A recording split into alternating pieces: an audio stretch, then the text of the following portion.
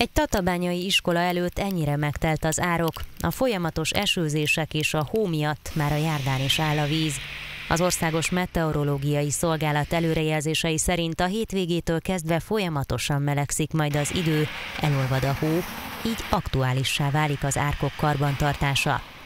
A katasztrófavédők megkezdték már az árkok ellenőrzését, a köztulajdonban lévő árkok karbantartása az önkormányzatok feladata, a házak előtti árkokról pedig a tulajdonosoknak kell gondoskodniuk hogyha az árokban benne marad a sár, akkor ugye a befogadó képessége sokkal kisebb, emiatt sokkal hamarabb, sokkal kisebb mennyiségű víztől kijönt, így elentheti a házak udvarait, pinceit, aminek következtében ugye rengetegen hívják a tűzoltókat, hogy ki kell szivattyúzni a vizet a pincékből.